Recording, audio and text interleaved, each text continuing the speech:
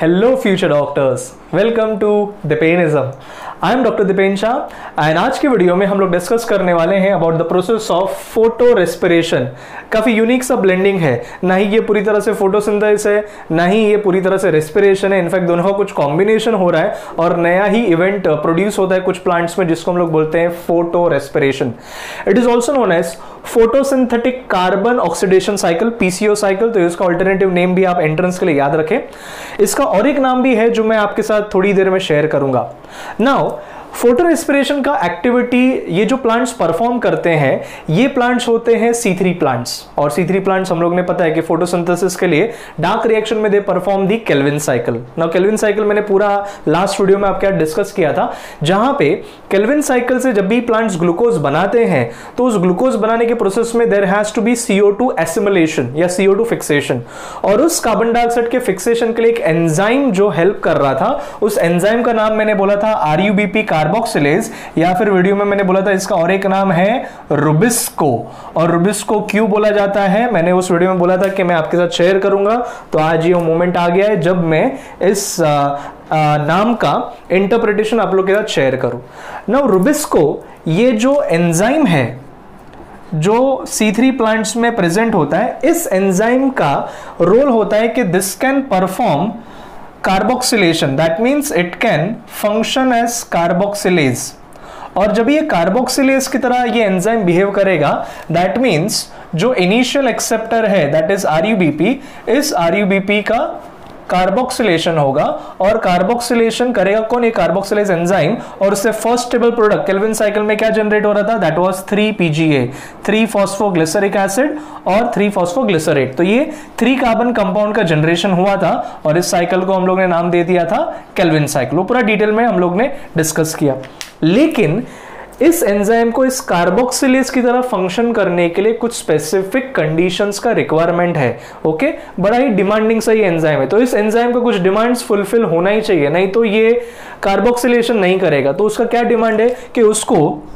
High CO2 concentration चाहिए। So only if CO2 concentration is high in the atmosphere तभी ये आरईबीपी का carboxylation करेगा एंड थ्री पीजीए के आगे परफॉर्म करके कैलन साइकिल से ग्लूकोज बनाएगा। एंड साथ में इसको चाहिए low temperature temperature has to be low that means whenever atmospheric conditions are not favorable for this enzyme मतलब concentration of CO2 low हो high temperature हो तब जाके instead of carboxylase ये enzyme behave करता है as oxygenase so so, photosynthesis में अगर इस प्रोसेस में ये enzyme instead of carboxylase oxygenase की तरह बिहेव करता है तो उस प्रोसेस को हम लोग बोलते हैं फ़ोटो रेस्पिरेटरी एक्टिविटी क्योंकि रेस्पिरेशन में हम लोग क्या लेते हैं? ऑक्सीजन तो यहाँ पे ये प्लांट्स भी इंस्टेड ऑफ़ टेकिंग सीओ ये एब्जॉर्ब करना स्टार्ट कर देता है ऑक्सीजन और ये ऑक्सीजन आर के साथ कंबाइन होगा तो that is the initial acceptor जैसे यहाँ पे है, यहाँ पे भी यही है। और आर यू बी पी का होता है ऑक्सीजनेशन अब वर्ड सुने, मैं क्या यूज़ कर रहा हूँ? मैं वर्ड यूज़ कर रहा हूँ। आर यू बी पी का हो रहा है ऑक्सीजनेशन इसीलिए इस एंजाइम को ऑक्सीजनेज बोला है। और ऑक्सीजनेशन करके ये प्रोड्यूस करता है compound which is known as phosphoglycolate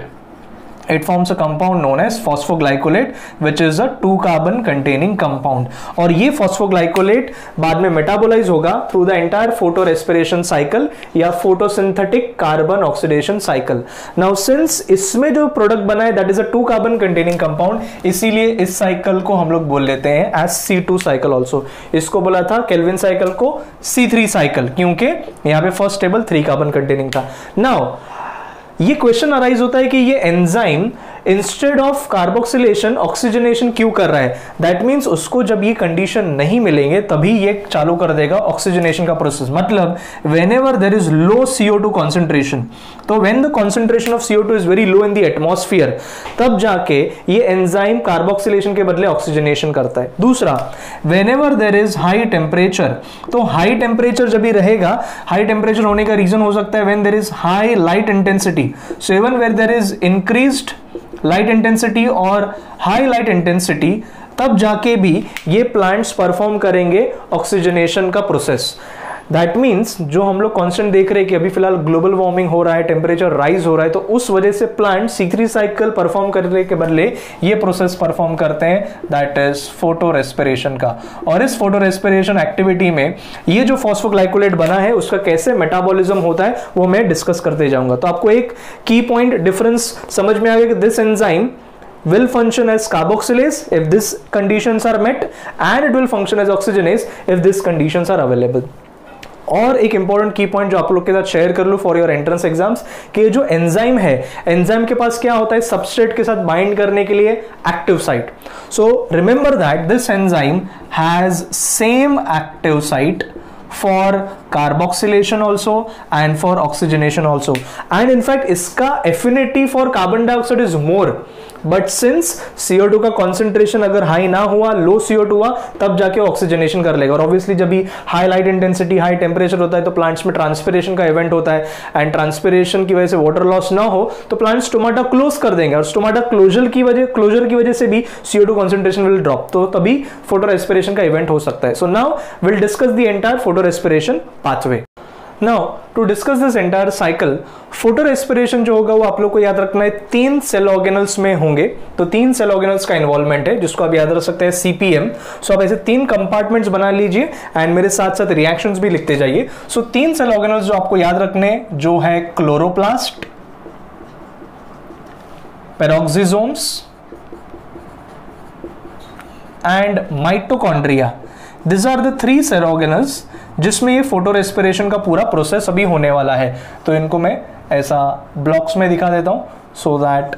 आपको क्लियरली समझ में आए कि ये पूरा इवेंट कैसा होने वाला है। मतलब ये पूरा जो पूरा साइक्लिकल इवेंट है फ़ोटो रेस्पिरेशन इसमें क्लोरोप्लास्ट का प्रोडक्ट जाएगा पेरोक्सिजोम्स में पेरोक्सिजोम्स का माइटोकॉन्ड्रिया में माइटोकॉन्ड्रिया का प्रोडक्ट वापस से पेरोक्सिजोम्स और क्लोरोप्लास्ट में आएगा और इसे पूरा साइक्लिकल डायग्राम में आपको, आपके साथ स्टेप बाय स्टेप डिस्कस करते जाऊँगा तो आप फोकस करके सब स्टेप्स लिखते जाइए। नाउ जैसे कुछ देर पहले मैंने आपको बताया कि ये क्या कंडीशंस की वजह से फ़ोटो रेस्पिरेशन होता है और वो कंडीशंस की वजह से जो इनिशियल एक्सेप्टर है that is R U B P ribulose one comma five bisphosphate उसका इंस्टेड ऑफ़ कार्बोक्सिलेशन हो क्या जाता है? ऑक्सीजनेशन और ऑक्सीजनेशन होने का रीजन है, क्योंकि एंजाइम जो है, वो R U B P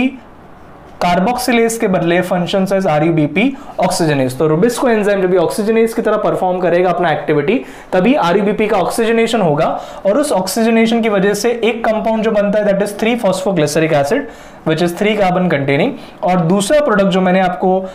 ध्यान में देके बताया दैट इज़ टू फॉस्फोग्लाइकोलेट सिर्फ़ आप फॉस्फोग्लाइकोलेट भी याद रख सकते हैं। ऑब्वियसली आईयूपीएसी नेम्स है। तो ये टू फॉस्फोग्लाइकोलेट का फॉर्मेशन हुआ है which is a two carbon containing compound now since ये टू कार्बन है, इसके लिए जैसे मैंने बता दिया, ये सी टू साइकिल है। नाउ थ्री पीजीए जो है, ये क्लोरोप्लास्ट में एंटर कर जाएगा इनटू द केल्विन साइकिल मतलब ये नॉर्मली केल्विन साइकिल में अपने हिसाब से वापस स्टार्ट करेगा अपना काम और वो ग्लूकोज का सिंथेसाइज करेगा। लेकिन जो टू फॉस्फोग्लाइकोलेट है, ये एंटर करेगा इनटू फ़ोटो रेस्पिरेशन साइकिल ना कुछ ऑथर्स uh, uh, या कुछ बुक्स प्रिसाइजली मेंशन नहीं करते तो पहले ही एक पॉइंट में आपके साथ अच्छे से यहाँ पे डिस्क्राइब कर दूँ कि यहाँ पे इस प्रोसेस में सब दो दो मॉलिक्यूल्स यूज़ होने वाले हैं। So there is two molecules of 3-PGA, two molecules of phosphoglycolate which are going to be used and two molecules of phosphoglycolate is going to enter into the photorespiration. Obviously उसके लिए two molecules of REBP and two molecules of oxygen will be utilized. तो याद रखना ये two two molecules enter कर रहे for the entire pathway now ये जो फॉस्फोग्लाइकोलेट बना है ये फॉस्फोग्लाइकोलेट का होता है हाइड्रोलाइसिस एंड हाइड्रोलाइसिस के साथ साथ इसमें से देर इज़ डी फॉस्फोराइलेशन मतलब फॉस्फोरिक एसिड का लॉस होता है। और जैसे ही उसमें से फॉस्फेट ग्रुप निकल जाएगा, जो कंपाउंड बन जाता है that is glycolate and this glycolate will be a two carbon containing compound और दो मॉलिक्यूल्स है तो यहाँ पे भी दो मॉलिक्यूल्स ही बनेगा। और ये ग्लाइकोलेट जो क्लोरोप्लास्ट में बना है this is going to now be transferred into peroxisomes तो यहाँ पे ग्लाइकोलेट ट्रांसफ़र हो गया है इन टू दी पेरोक्सिसोम्स और इसके ये दो मॉलिक्यूल्स आ जाएँगे। नाउ ये ग्लाइकोलेट जो है, इसका हो जाता है ऑक्सीडेशन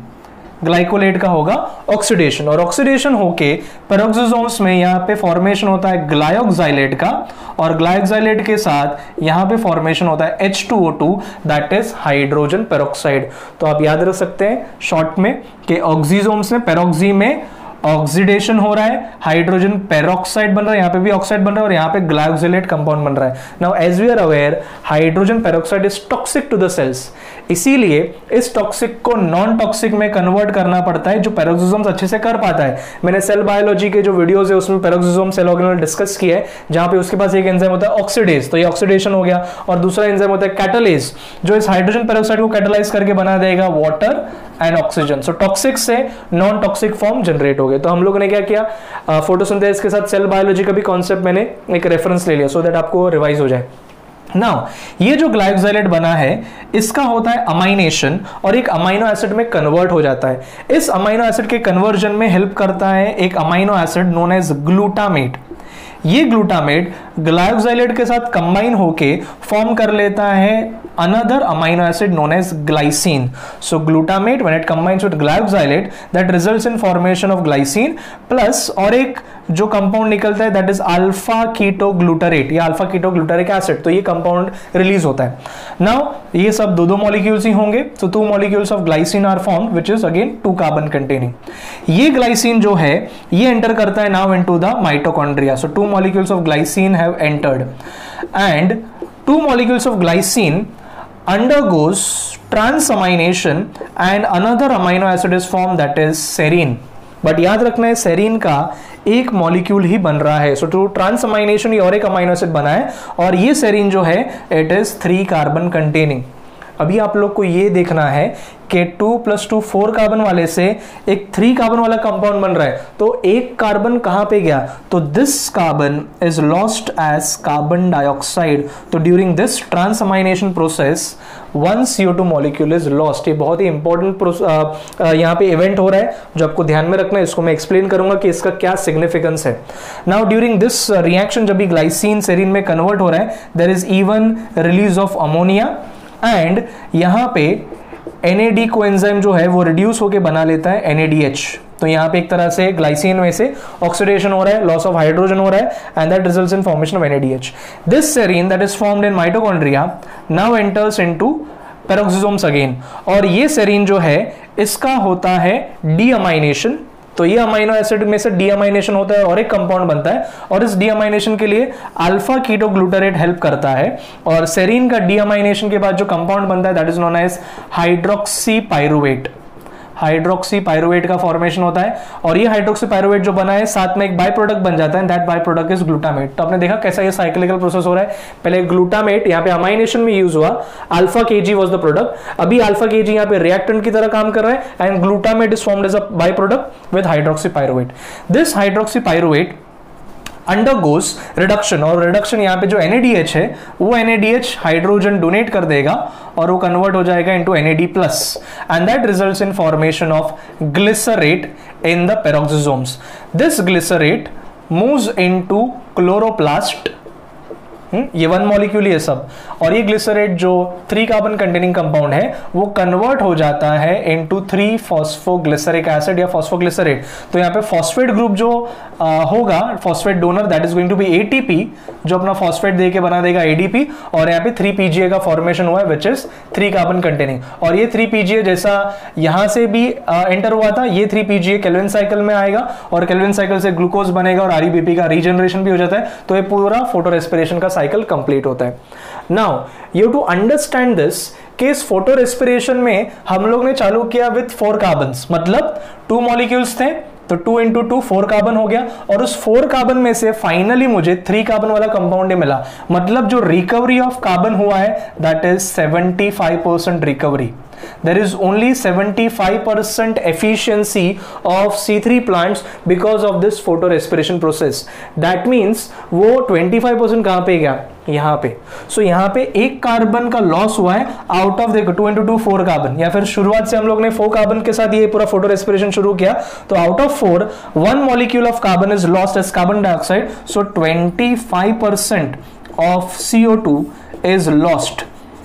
जो भी कार्बन यहाँ पे फिक्स्ड हुआ था, उसमें से 25 परसेंट इज़ लॉस्ट इस वजह से हम लोग फ़ोटो रेस्पिरेशन को बोल लेते हैं as a wasteful process now wasteful process में मैंने एक चीज़ बताया कि इनली efficiency 75 percent and there is loss of 25 percent इसके लिए भी वेस्टफुल है। दूसरा बात नॉर्मली जब भी हम लोग रेस्पिरेशन करते हैं या प्लांट्स भी जब रेस्पिरेटरी एक्टिविटी करे तो जनरेट क्या होना चाहिए? एटीपी एंड जनरेट होना चाहिए रिड्यूस को एनएडीएच जो एटीएस वगैरह में एंटर करके एटीपी प्रोड्यूस करवा पाए। बट यहाँ पे कहीं पे भी एटीपी जनरेशन नहीं हो रहा है। So there is no ATP formation and neither there is NADH formation तो यहाँ पे कोएंजाइम्स का भी फॉर्मेशन नहीं हो रहा है। इनफैक्ट यहाँ पे जो एनएडीएच बना भी था, वो यहाँ पे यूटिलाइज हो जाता है। यहाँ पे एटीपी फॉर्मेशन तो नहीं होता बट यहाँ पे देखे तो इनफैक्ट और एटीपी यूज़ हो रहा है to perform this photo respiratory pathway so you to understand it's a wasteful process now plants में ये क्यों होता है? तो एक रीजन मैंने बताया कि जो एनवायरमेंटल कंडीशन है लो सीओ हो हाई ऑक्सीजन हो हाई टेम्परेचर हो हाई लाइट इंटेंसिटी उस वजह से ये फ़ोटो रेस्पिरेशन का इवेंट होगा। एक बेनिफिशियल फैक्टर जो प्लांट के लिए हो सकता है कुछ साइंटिस्ट बिलीव करते हैं that it prevents photo oxidative damage to the plants so photo oxidation की वजह से डैमेज ना हो, इसलिए ये प्लांट्स फ़ोटो रेस्पिरेशन का एक्टिविटी परफॉर्म करते तो ये एक बेनिफिशियल इफ़ेक्ट या सिग्निफिकेंस हम लोग बोल सकते हैं फ़ोटो रेस्पिरेशन का but overall it's a wasteful process in my next video में डिस्कस करूँगा कैसे कुछ plants in spite of having the high temperature low CO two concentration जो ट्रॉपिकल प्लांट्स है, वो कैसे ये फ़ोटो रेस्पिरेशन को अवॉइड कर पाते हैं? तो वो एक एवोल्यूशन प्लांट्स में भी देखा गया है। तो सी थ्री प्लांट्स में फ़ोटो रेस्पिरेशन होता है बट एक दूसरे category of plants C four plants हम लोग पढ़ेंगे कि कैसे उसमें photo respiration is avoided so this in detail I have discuss photo respiration hope you understood all the specific points आपको कुछ डाउट्स है तो आप कमेंट सेक्शन में लिख सकते हैं। स्टेट यून for my further videos that's all from दिपेनिज्म